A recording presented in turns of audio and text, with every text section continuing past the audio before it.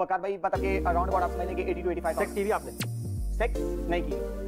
क्या मसला है? मसला नहीं है। मतलब कि वैसे उस तरह मौका नहीं मिला इंशाल्लाह जब शादी होगी तो उसके बाद जो हमारा टोटली है उसी में करूँगा। बाकी ये है कि थोड़ा बहुत गपशप वगैरह फ्रेंडशिप वगैरह वो सब कुछ है। लेकिन एक्चुअल वो है तो वो नहीं। आपको क्या लग रहा है? किया मैंने किया?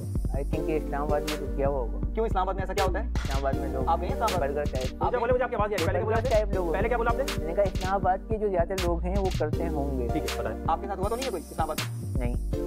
अच्छा मैंने कहा शायद आप आए कुछ ऐसा हुआ इसलिए कह रहे हैं। घूमने के लिए आया हुआ लेकिन एज रहने के लिए नहीं आया हुआ जो भी हो खुल के बोलो खुल के बोला है वही तो खुल के मैं तो खुल के बोल रहा हूँ इसलिए पूछ रहा हूँ। ठीक है। अगर आप आए ऐसा कुछ हुआ तो आप बता सकते हैं शो में।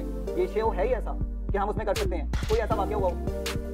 मैं अपने साथ तो नहीं हुआ वैसे अच्छा लोगों के साथ हुआ है। वीडियोस वगैरह आती रहती अरे चलो ठीक है। अच्छा आपने कोई हम बिस्तरी नहीं की। नहीं हम अच्छा ये मुझे बताइएगा कि आप इतनी दूर से आए तो कुछ सोचा होगा कुछ प्लान किया होगा?